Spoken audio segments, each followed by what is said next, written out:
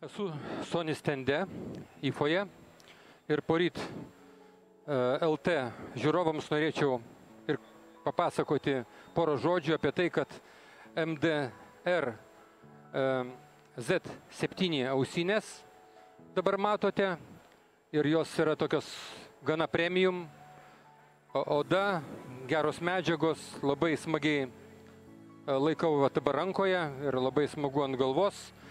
Iš to, kad apie tai, kad tai yra premium gaminys, dar galima matyti iš to, kad jos yra prijungtos prie išorinės garso plokštės ir stiprintuvo pradinio.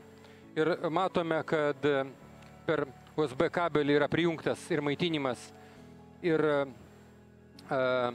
signalas, jisai susikonfigūruoja kompiuteryje arba mobiliame renginyje kaip e, išorinis e, garso, išorinė garso plokštė.